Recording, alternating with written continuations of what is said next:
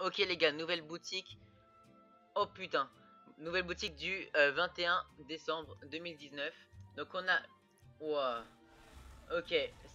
Un pack de planeurs de Star Wars. Le chasseur TIE du premier ordre. Le Y-Wing, donc le nouveau planeur. Le tout pour 1800 V-Bucks. Euh, un deuxième pack avec toutes les pioches. Bâton anti-émeute.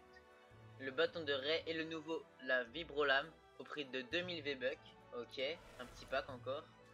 Euh, ensuite, la Vibrolame toute seule au prix de 800 V-Bucks. La nouvelle danse, le côté obscur au prix de 200 V-Bucks. Voilà, tête qu'elle fait. C'est quoi cette tête?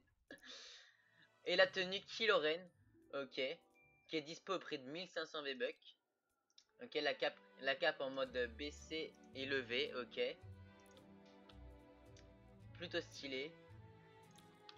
On a ensuite le planeur Y-Wing tout seul à 1200 V-Bucks. Et la nouvelle tenue Zori Bliss au prix de 1500 V-Bucks.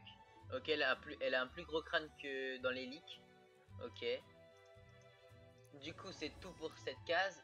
On continue avec le bâton anti-émeute qui est de retour au prix de 1200 V-Bucks.